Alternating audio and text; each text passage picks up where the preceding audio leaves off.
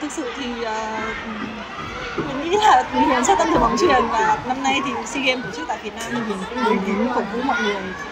Ờ, theo dõi trận đấu ngày hôm nay thì Huyền cảm thấy trận đấu ngày hôm nay như thế nào? À, Huyền cảm thấy là mọi người rất là cố gắng, rất là quyết tâm và Huyền Huyền rất là thích cái tinh thần của mình hôm nay. Huyền thấy được mọi người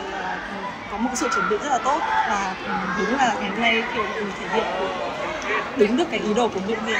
Ờ, Huyền khi mà đặt chân đến đây và xem theo dõi trận đấu và theo dõi cả khán giả cổ vũ thì Huyền cảm thấy không khí tại nhà thi đấu Đại Yên như thế nào? Huyền cực kỳ thích uh, cái không khí mà khán giả hiện tại nên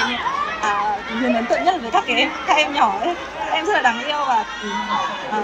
Huyền thấy các em cổ vũ rất là, rất là nhiệt tình và khi mà các em cổ vũ nhiệt tình như thế thì Huyền thấy nó có một cái sự gắn kết giữa các khán giả với nhau. Ờ, trong những trận đấu tới của đội tuyển Việt Nam thì Huyền sẽ sẽ tiếp tục là có mặt để ủng hộ đội tuyển Việt Nam. Có lẽ là Huyền nếu có cơ hội Huyền sắp xếp một thời gian Huyền nhất định sẽ sẽ uh, đến để cổ vũ mọi người.